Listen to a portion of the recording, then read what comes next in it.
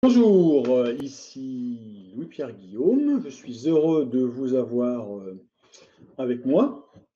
Euh, est-ce que le son est bon? Dites-le moi dans le chat si le son est bon. Et donc aujourd'hui, c'est la huitième webinaire que je fais. Et le thème d'aujourd'hui est comment collaborer et innover tout en diminuant les risques. Merci Gérard pour le son. Alors, c'est un sujet effectivement qui est euh, important parce qu'à la fois, on voudrait mieux collaborer, on voudrait innover plein de choses. En même temps, on se dit, là, il y a plein de risques, risque de perte d'informations, risque de, euh, de, trop avoir de choses à discuter. Euh, voilà. Donc, c'est une problématique, mais qui se résout effectivement. Donc, on va en parler aujourd'hui. Alors, d'abord, toujours pareil, j'ai changé le, comment dire, le, la petite image, c'est quel est votre niveau d'énergie aujourd'hui? vous allez en bas, vous avez euh, un petit, curseur, vous pouvez euh, choisir de quelle flèche vous voulez utiliser. Je vais prendre dessiner et moi je vais mettre que je suis au taquet. Je vous laisse prendre 5 euh, secondes, 10, 10 secondes. Vous allez en bas, vous avez la petite flèche, la couleur que vous voulez, et vous choisissez ce que vous préférez comme,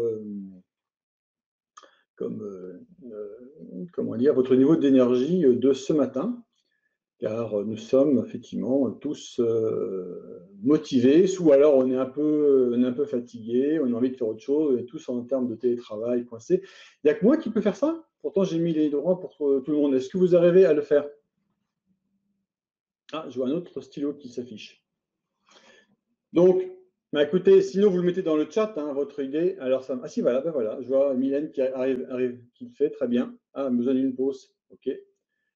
Donc vous avez euh, en bas toujours, euh, donc je ne suis pas tout seul. Une pause, ben, ce sera après la pause. Hein, euh. Bonjour Elodie, bienvenue. Voir du monde, ah bah oui, ça, c'est vrai. Il manque l'option voir du monde dans mon petit, dans mon petit, effectivement. Ah, il y a d'ailleurs, besoin de voir du monde. Ok, merci Gérard.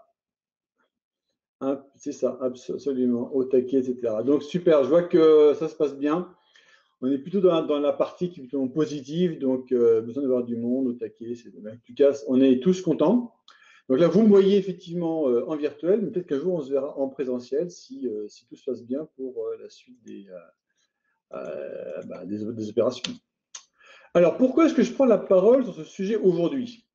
Alors, en fait, le sujet, effectivement, de, de cette gestion des risques, de la collaboration, de l'innovation, moi, effectivement, j'étais confronté à ce, à ce thème-là, euh, début de carrière, euh, d'ailleurs même euh, toujours, hein. c'est euh, un sujet effectivement qui était, dès en entreprise, dans des grosses entreprises, ça a toujours été pareil, mieux collaborer avec d'autres personnes, innover sur des choses, qui peuvent intéresser l'entreprise, tout en ben, gérant les risques de perte de, de confidentialité et d'autres.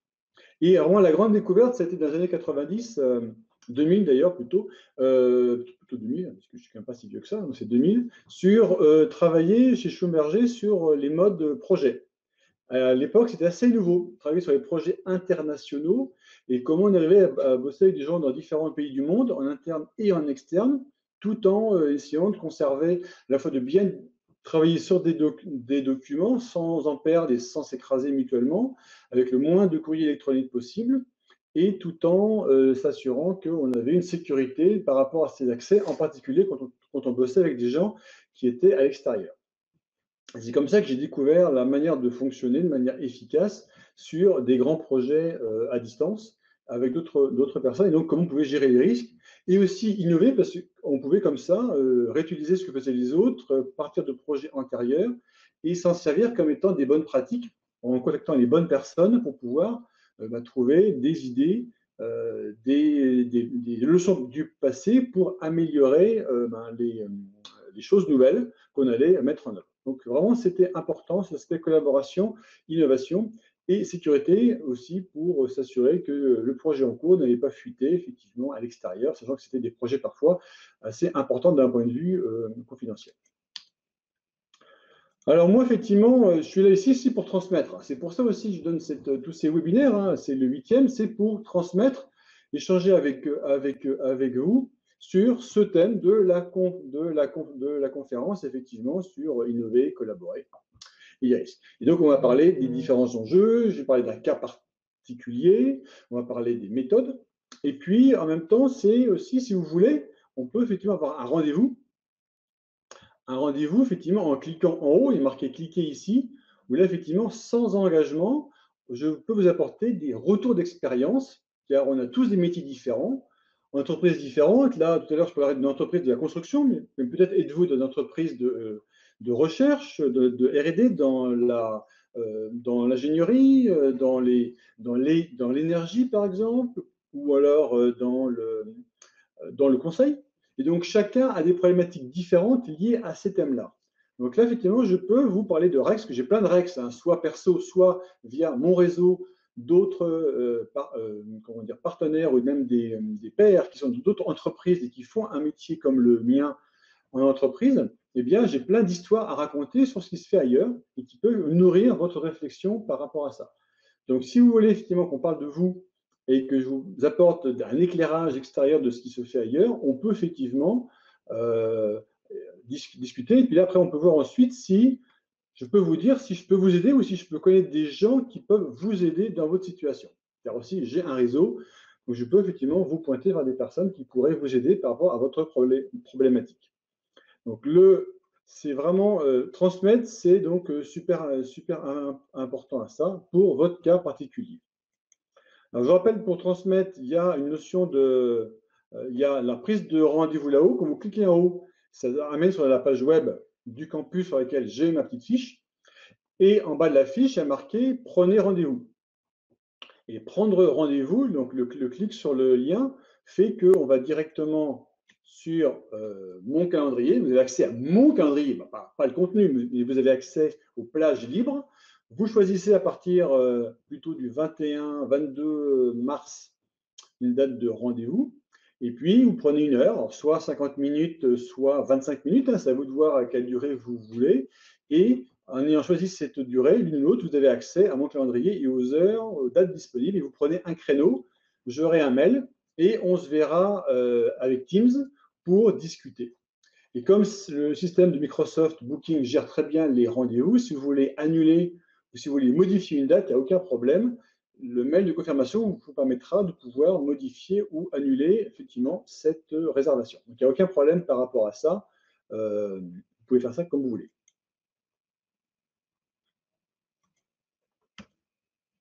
Alors ce qui nous réunit aujourd'hui, c'est là c'est tous les thèmes dont vous avez parlé lorsque vous êtes inscrit. Vous aviez plein de thèmes différents qui étaient, bon, les voix sont assez diversifiées sur euh, gérer l'innovation et, la connaissance, développer l'innovation.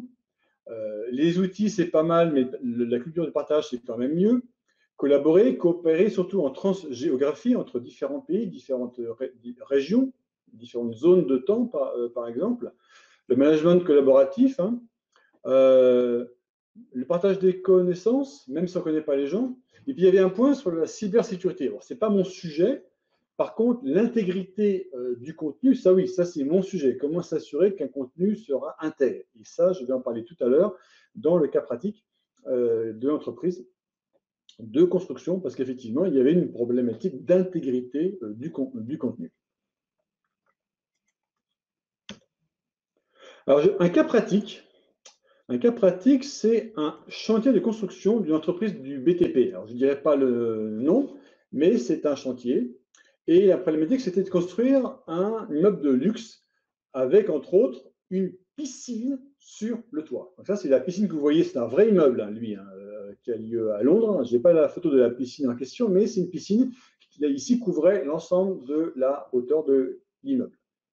Et donc, c'était, il y a une problématique, c'est comment je fais. Et c'était donc, ça je vais en, parler, il fallait trouver des solutions techniques originales pour faire cette fameuse piscine. Une seconde problématique qui consistait à réduire le flux entre les gens. Vous imaginez très bien que si on fait du courrier électronique pour gérer un projet de ce type-là, vous allez vous noyer sous les mails. Donc clairement, le mail n'est pas, pas la solution de collaboration efficace. Je pense que vous le savez, mais je le répète pour la énième fois. Si on collabore avec des gens sur un projet, sur un sujet, on n'utilise pas le courrier électronique, sinon on est noyé.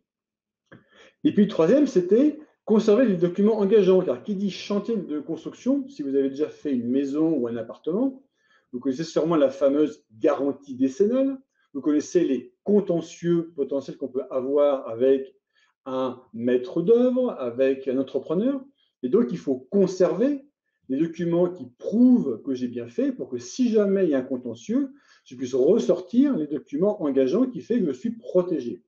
Donc là, il y avait une notion à la fois de rechercher de l'information du, du, passé et de se protéger pour le futur. Le futur, ça peut être bien dans 5 ans, 10 ans. Donc c'est quand même un petit, un petit peu loin. Donc là, il y avait l'innovation par rapport à la piscine, la collaboration, et puis effectivement euh, la notion de sécurité, d'intégrité.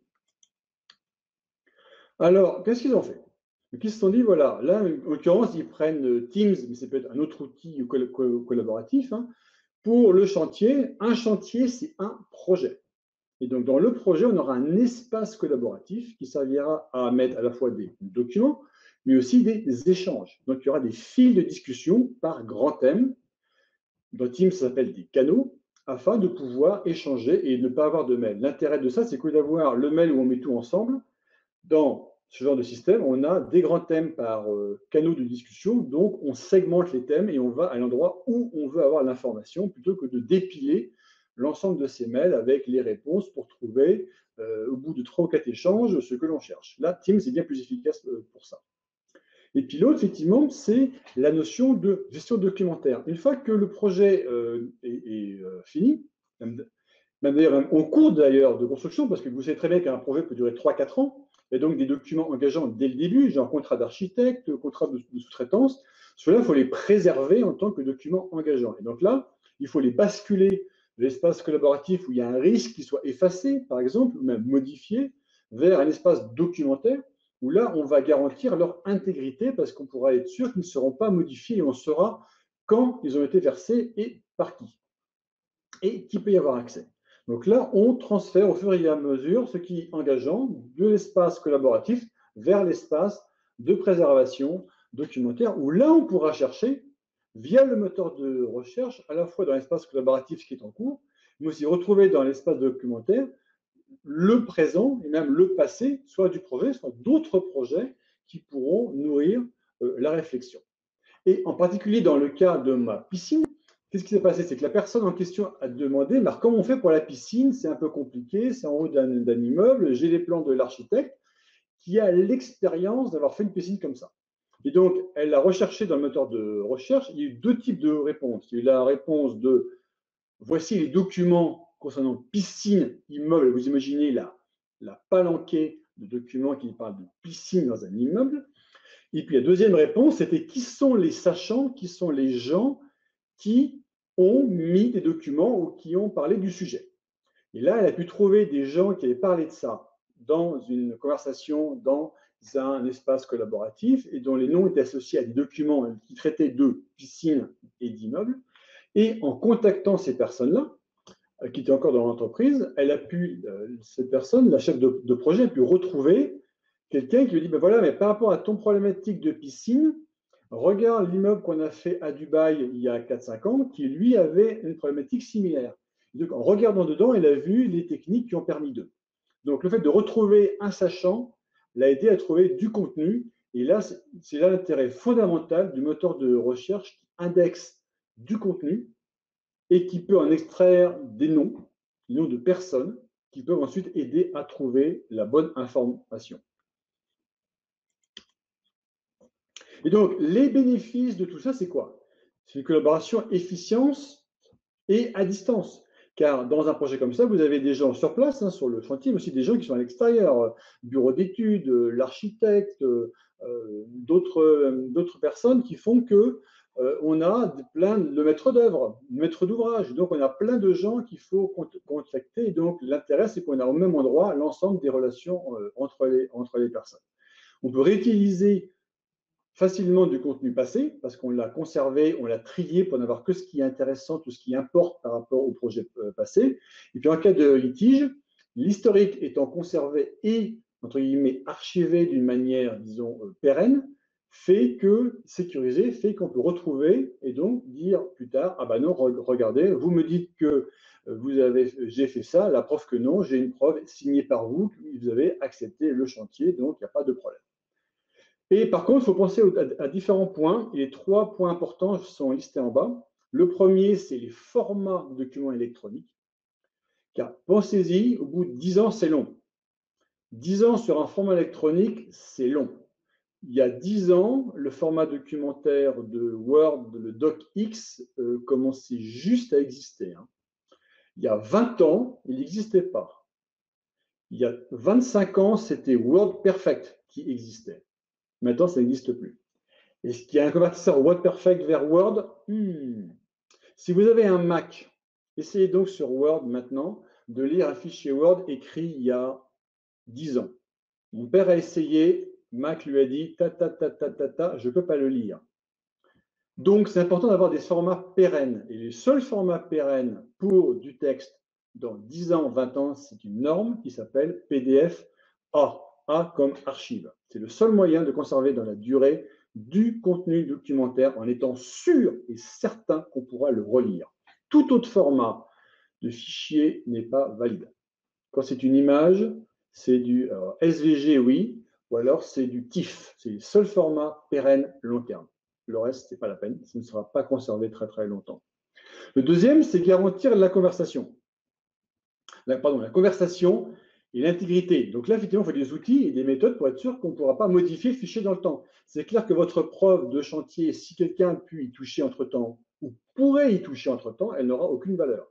Donc ça veut dire qu'il faut garantir que l'outil suit la norme et évite ce genre de modification potentielle du contenu. Et si vous avez un outil pour ça, alors ça vous garantit devant un juge que oui, le document électronique est stocké a été et intègre, et je peux prouver son intégrité devant un juge parce qu'il n'a pas été modifié. Le papier, dans ce cas-là, ne sert à rien parce que la source était électronique. Donc, une source électronique bien conservée, avec intégrité, vaut devant un juge.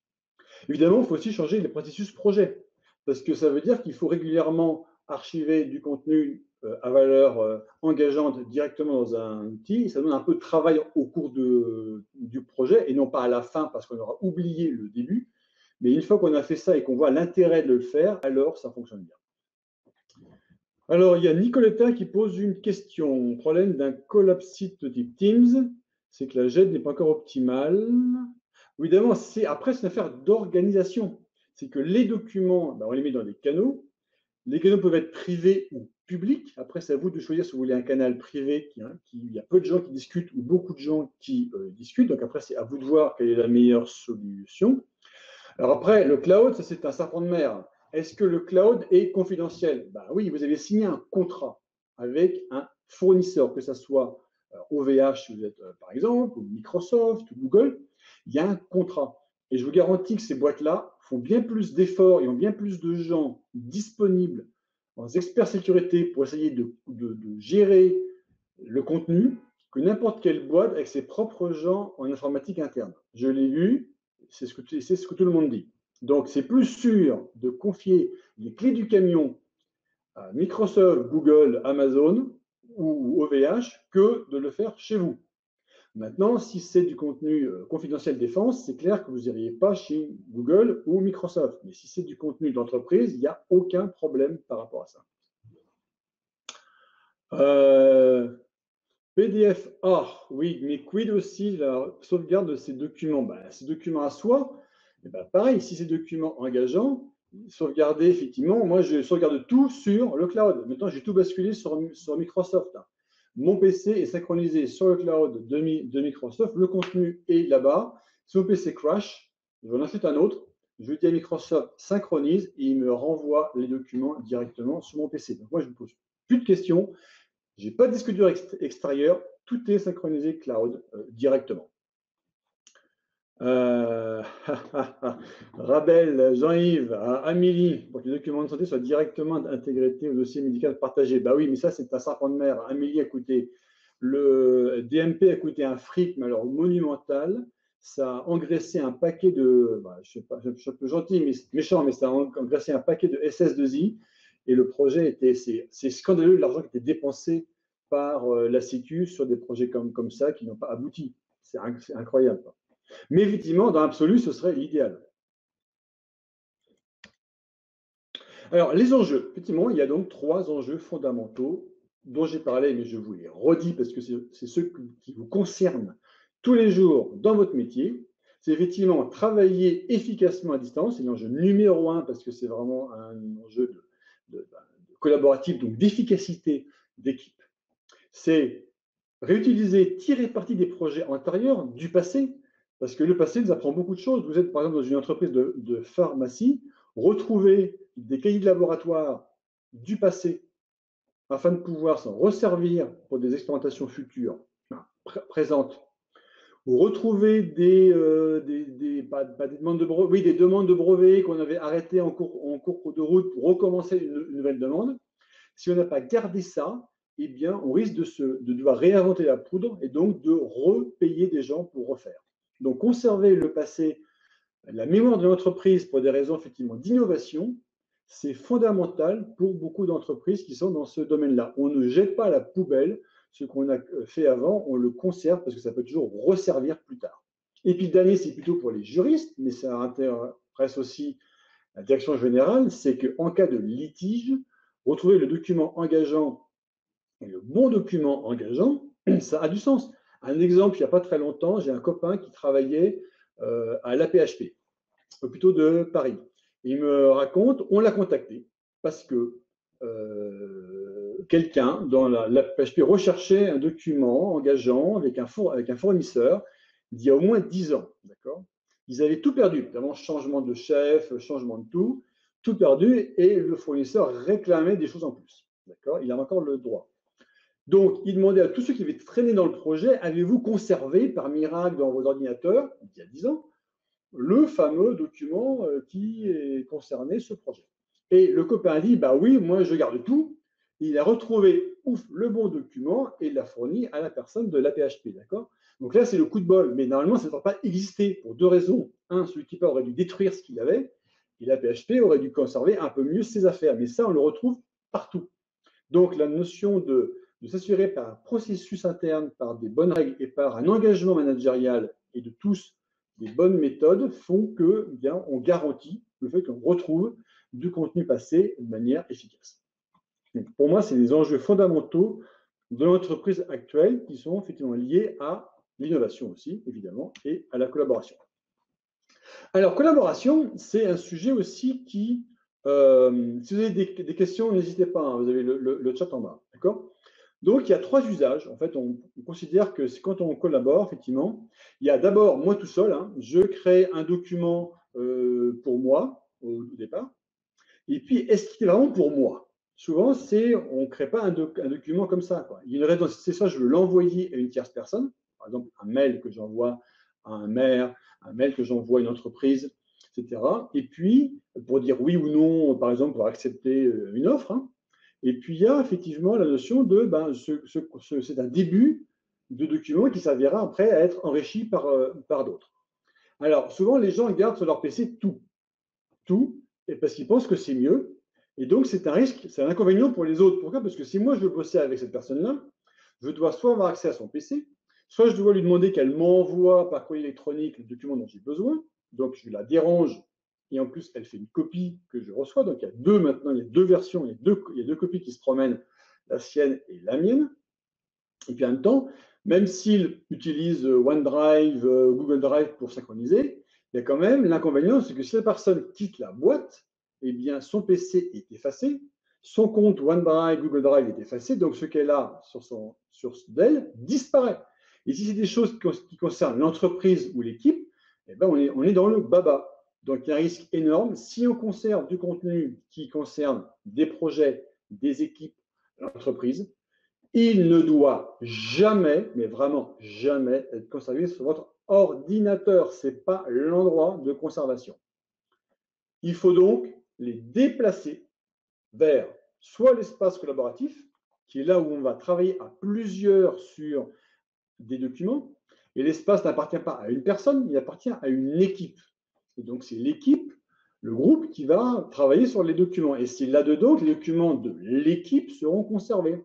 Et, croyez-moi, dans votre PC, vous avez plein de documents d'équipe qui devraient être ailleurs dans un espace collaboratif et qui ne devraient pas être dans votre PC. Ils devraient disparaître de votre PC. Ils devraient être dans l'espace collaboratif, que ce soit un disque partagé ou un Teams. C'est pareil, c'est espace collaboratif. Et donc, c'est là où on travaille avec les autres, où on enrichit, on co-construit, etc. Maintenant, c'est un inconvénient pour pourquoi? Pour qui? Pour l'organisation. Par exemple, je construis avec plusieurs personnes un, je sais pas moi, euh, euh, la règle de l'entreprise, bon, les, statuts de l'entreprise par exemple, ou, les règles de, fonctionnement ou une procédure. Voilà, je fais une procédure pour l'entreprise. Et maintenant, elle est prête. Elle a été validée par plusieurs, elle est prête. Qu'est-ce que j'en fais? Est-ce que je dis à, tout le monde dans un mail ou via le site web, allez chercher la procédure dans l'espace collaboratif, ou pire, dans mon PC, hein, l'espace collaboratif, ou est-ce que je dis, je ou est-ce que je la pousse ailleurs dans un espace d'entreprise? Parce que si c'est l'espace collaboratif, le risque, c'est que si jamais on change la procédure, ça va écraser la précédente.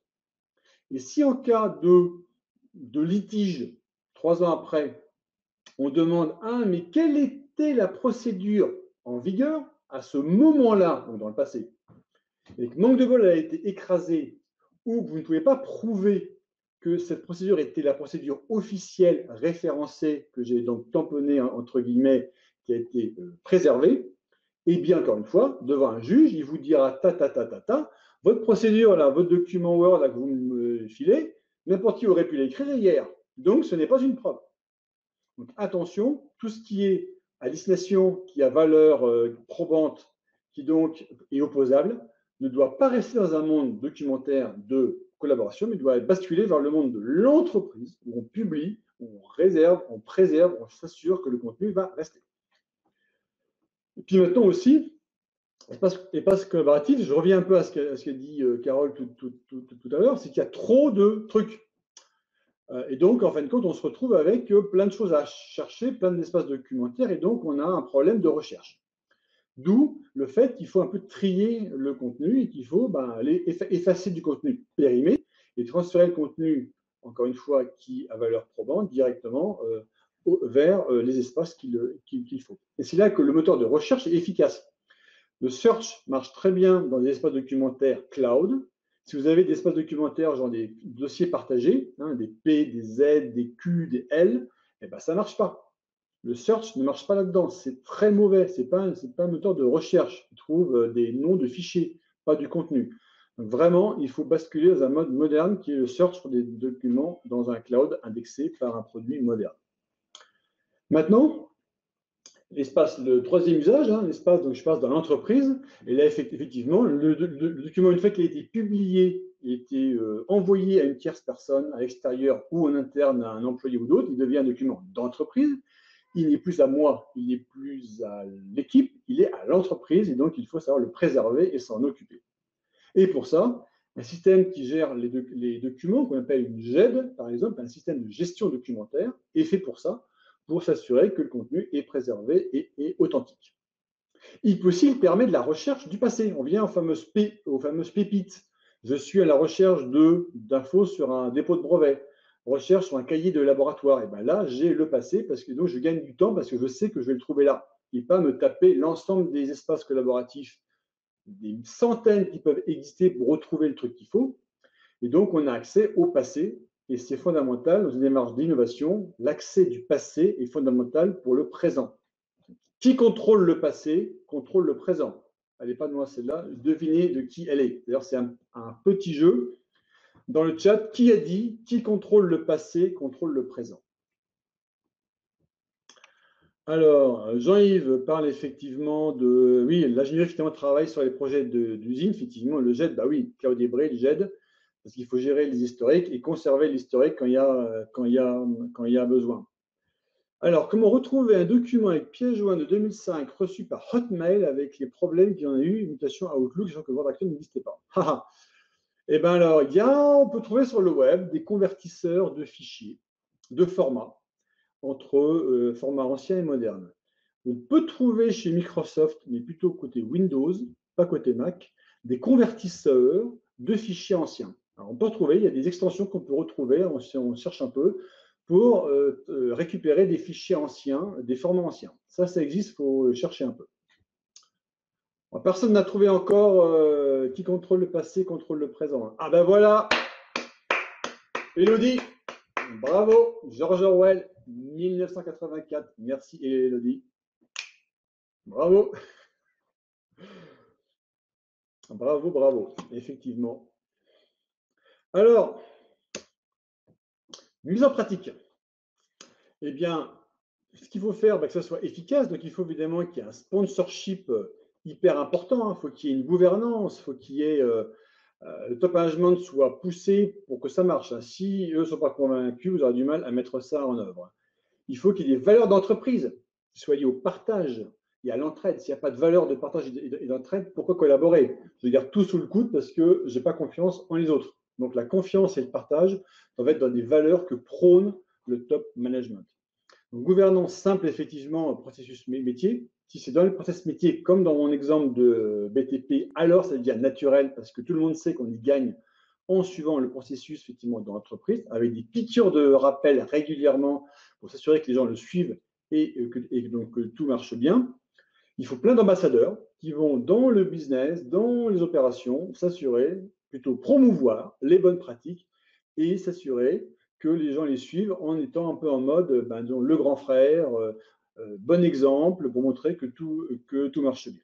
Avec un petit suivi, sinon évidemment ça ne marche pas tant que ça, mais il faut toujours avoir, s'il y a pas, le management intermédiaire n'est pas convaincu, si les chefs ne sont pas convaincus que ça doit changer en termes de mode de fonctionnement plus collaboratif, plus innovant, via les trois zones individuelles, collaboratives et puis entreprise, S'ils ne pensent pas qu'il faut basculer en mode collaboratif et entreprise, alors là, vous êtes mort. Mais si eux sont convaincus, parce qu'ils ont à y gagner, alors, genre, gain de temps, hein, euh, moins d'erreurs, moins de risques, alors ils vous suivront sur ce genre de démarche euh, collaborative. Donc en pratique, il bah, faut aller vers le futur. Il y a le passé. On ne va pas refaire le passé. On ne va pas se repalucher les espaces collaboratifs du passé pour vraiment pour faire ça bien. On prend le présent, on va vers le futur, et le passé, ben, euh, si on en a besoin, on traitera le passé. Mais c'est vraiment, il faut aller vers le futur. Deuxième, c'est aller vers le cloud. Les systèmes de fichiers, les Q, les L, les P, les R, il faut vous en débarrasser. Ce n'est pas la solution d'avenir depuis au moins 10 ans. C'est la chose du passé. Il faut basculer sur autre chose. Il faut un portail d'entreprise avec un moteur de recherche pour retrouver l'information dont tout le monde a besoin. Évidemment, avec des critères de recherche, des critères de, droit d'accès, bien sûr, mais il faut avoir un moteur de recherche pour ça.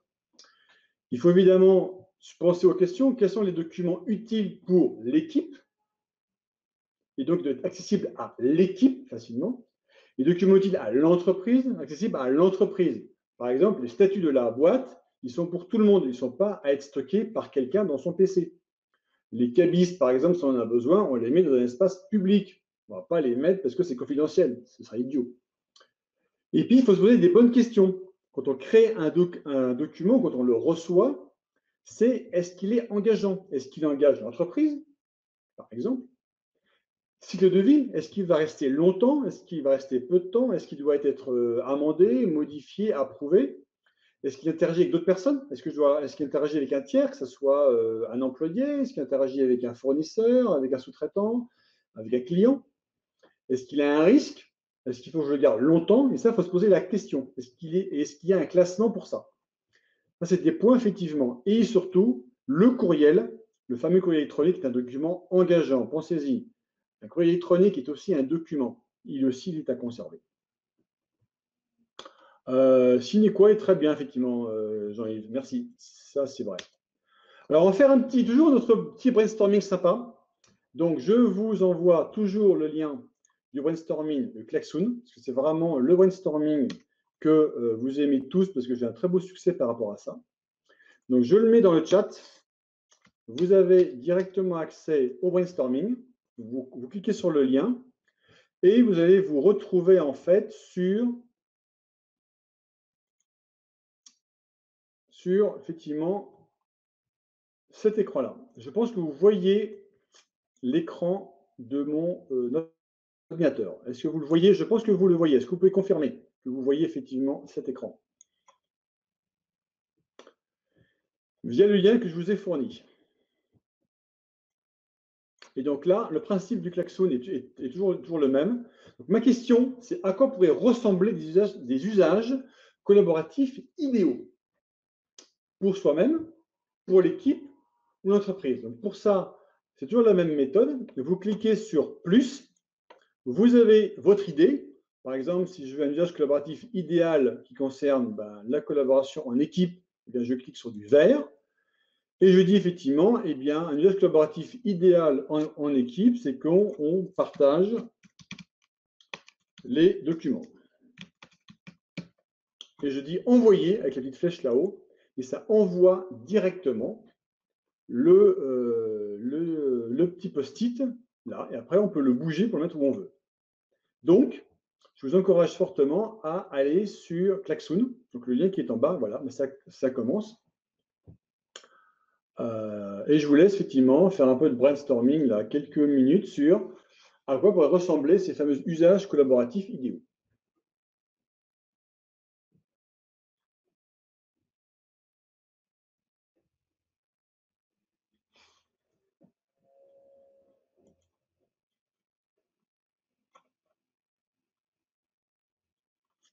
On n'est que 5 dessus, hein. 6, voilà. Partagez un lien plutôt d'envoyer un document par email. Si vous voulez, vous pouvez aussi mettre votre nom sur le post-it, hein, si vous préférez.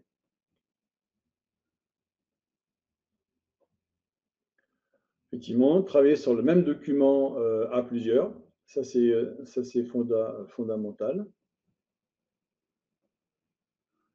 Le cloud chez Erazad. Alors là, c'est beau ça, chez Erazad. Je ne savais pas qu'il y avait un cloud chez Erazad. Retrouvez les Rex des projets passés, bah oui, c'est clair. Ça, c'est euh, fondamental. Partager ses idées. Euh,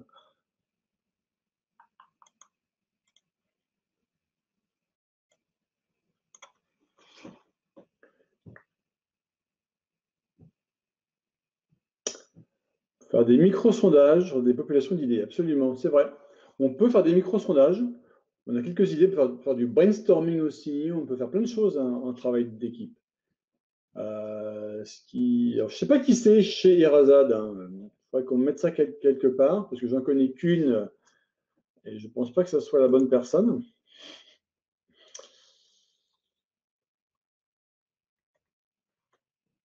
Brainstorming d'équipe, absolument.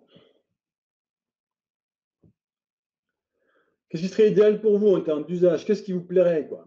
Qu'est-ce qui vous plairait? Ce serait que euh, on collabore mieux, que on retrouve tout, que euh, mon management euh, soit responsable et motive les équipes à, pouvoir mieux effectivement mieux mettre du mieux mettre du contenu collectif. Je sais pas moi, qu'on empêche. Je donne quelques idées comme ça que l'on que l'on évite que les gens mettent leur nom de dossier comme étant leur nom comme nom de dossier, de telle manière qu'on puisse tout retrouver et pas que ça ne dépende pas du bon vouloir de, personnes. Donc, tout ça sont des sujets effectivement. Euh, Transmettre la mémoire historique, c'est très bien, effectivement. Retrouver un document après le départ de son créateur. Bah oui, c'est ça le grand classique. En équipe, on retrouve que la personne part. Je vois un exemple pratique, ça a été euh, dans une de mes équipes, on avait effectivement dès le début, on avait dit tout le contenu de l'équipe, il est au milieu dans le système collaboratif. On ne mettait rien du tout euh, à, nous, c'est vraiment au milieu. Et on a, embauché deux, personnes. Et elles nous ont dit c'était génial chez vous, dans votre équipe, parce qu'on arrive, tout est disponible. On n'a pas à aller demander aux gens qui vous envoient par mail les documents qu'il faut. On a fait un petit tour, voilà ce qu'il y a comme document, comme dossier et de quoi ça traite. Et après, la personne n'avait plus qu'à aller chercher où il fallait. Elle m'a dit, j'ai gagné un temps phénoménal. Et grâce à ce système collaboratif qui était mis en place, j'ai pu tout de suite euh, avoir, être efficace à mon poste, le fameux onboarding, parce que justement, il y avait un espace collaboratif efficace. Donc, pour les nouveaux, c'est fondamental d'avoir justement un système d'entreprise qui, euh, qui, qui fait ça.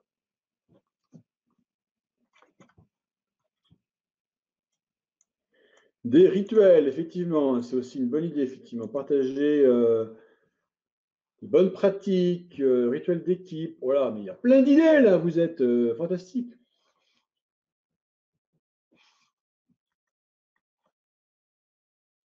Ah, Sherazade, d'accord, oui.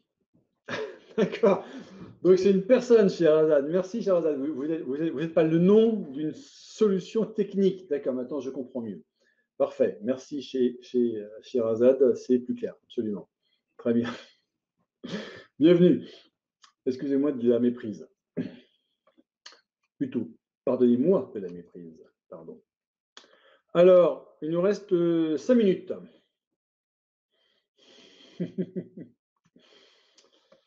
cinq minutes. Alors, cinq minutes, effectivement, je laisse un petit peu aller là-dessus, mais j'ai deux trucs à dire quand même avant que l'on termine. Je vous laisse toujours euh, euh, brainstormer.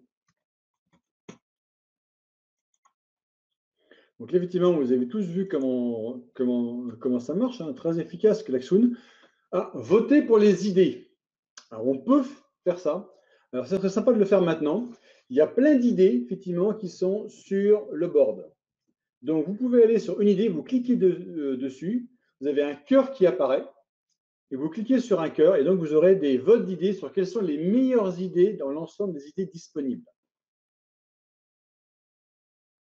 Par exemple, en l'occurrence, ici, moi, je vais voter pour l'idée, euh, bah, tiens, euh, euh, voilà, hop, Sherazade, super idée, tac, je clique ici.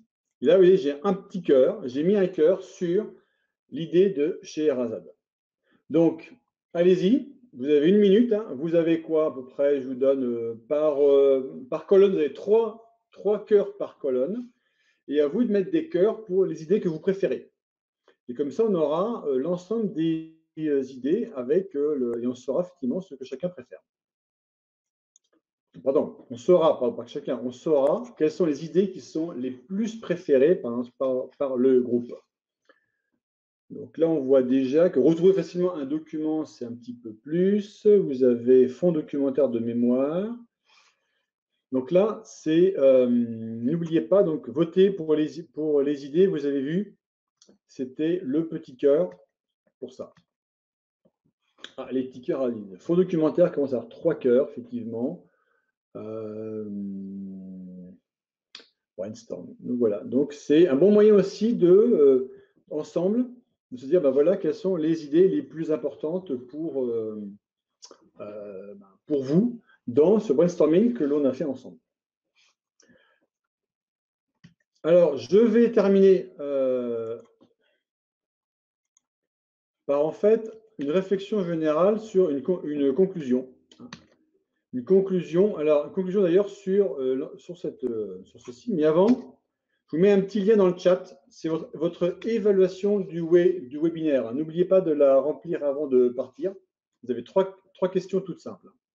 Donc, ma conclusion, effectivement, c'est que on peut collaborer et, et, et innover tout en diminuant les risques. Donc, on peut toujours le faire, ça, c'est pas impossible. Et en plus, on peut diminuer les risques. Et donc, si vous-même, vous construisez une réflexion autour de l'innovation, innovation collaborative, de la valorisation de la, connaissance, des usages collaboratifs à distance, des communautés, donc tous ces thèmes dont on a traité tout à l'heure euh, ensemble, eh n'hésitez pas hein, à venir aux autres conférences que je fais. J'en fais une par mois. La prochaine sera le 12 avril à 11h30. Abonnez-vous à la newsletter du campus pour ça. Et puis, si vous-même êtes en charge deux projets où vous avez un besoin, vous voyez, vous voyez que ça commence à vous titiller en tant que directeur, patron de TI. Et si les enjeux de ce matin dont je vous ai parlé ben, vous plaisent, sont majeurs pour vous, ben, je vous invite, encore une fois, à prendre rendez-vous avec moi et cela vous apportera effectivement un ROI sur vos activités. N'hésitez pas, partagez un Rex, cliquez en haut, c'est encore temps pour pouvoir prendre un rendez-vous avec, euh, avec moi. Et n'oubliez pas aussi de d'évaluer le, le, webinaire avec le lien que j'ai mis en dessous qui permet de pouvoir, euh, qui permettra de manière sympathique avoir votre feedback sur le webinaire. Pour le moment, je n'ai qu'une seule réponse au webinaire. Donc, euh, faites-moi s'il vous plaît un petit feedback, ce sera hyper, hyper sympa sur le webinaire de ce matin pour que je puisse améliorer. Caroline, merci. N'oublie pas de faire l'évaluation, s'il te plaît. J'espère que ça vous a plu. Et donc, je vous souhaite une très, très bonne euh, journée, très bon après-midi et on se revoit le 11. Merci Nicoletta de votre feedback. Ça fait toujours plaisir au cœur d'avoir quelqu'un qui me dit je suis toujours passionnant. J'adore qu'on me dise ça. Je vous le dis. Euh, merci beaucoup. Et donc, n'oubliez pas de remplir le questionnaire, effectivement. Ah, j'ai trois réponses, super. Donc, continuez à la remplir. Ça me permettra d'avoir votre feedback sur le questionnaire d'aujourd'hui, effectivement, l'évaluation du webinaire. Donc, trois réponses, un peu plus, sera sympa. Oui, le support, euh, euh, oui, oui, il sera disponible, bien sûr, dans quelques jours sur LinkedIn. Allez sur LinkedIn, sur mon profil, vous aurez l'enregistrement. pour le replay, vous aurez le support disponible, euh, ainsi que le klaxon, vous aurez aussi disponible. Donc, tout ça, ce sera mis en ligne dans quelques jours sur, LinkedIn. Merci, Elodie, pour ton, pour ton feedback. C'est super, super sympa. Merci, Gérard. Euh, le lien d'évaluation, s'il ne marche pas, ben, désolé. Euh, oui, bien sûr. Je mettrai aussi sur Amalté, sur mon site web, bien sûr, le, euh, replay du, webinaire et tout, bien sûr. Il n'y a pas de problème. Le, rendez-vous, c'est euh, effectivement aussi là en direct. C'est rendez-vous ici, si vous voulez, un rendez-vous avec, euh, moi ou le lien en haut. Et n'oubliez pas, encore une fois, l'éval du webinaire. Ce serait super sympa de votre part d'avoir votre feedback. Merci beaucoup. Et à très bientôt. Je vous souhaite une très très bonne journée.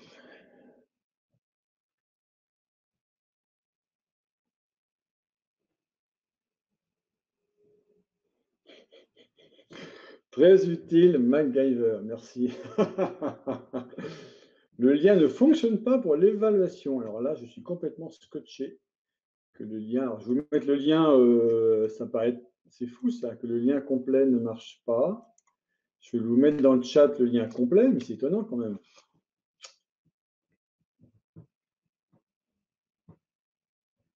Hmm, il faut recharger la page pour pouvoir euh, faire l'évaluation. Waouh difficile.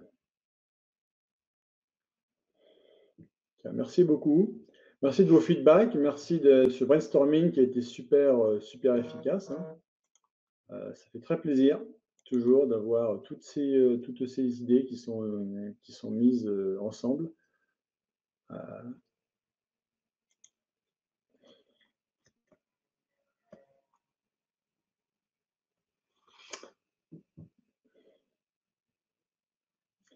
Le lien vers mon LinkedIn. Ah ben, je peux vous trouver le lien vers LinkedIn, hein, c'est facile. Je partage directement LinkedIn. Euh, et je pense que si vous me recherchez euh, Louis-Pierre Guillaume, ça doit être super facile. Alors, je ne sais pas si, si je regarde Louis-Pierre Guillaume, ça va marcher pour LinkedIn. Non, je ne pense pas. Je vais chercher directement. Ah ben si, voilà, c'est ça. Hop, je vous le mets dedans directement. Voilà.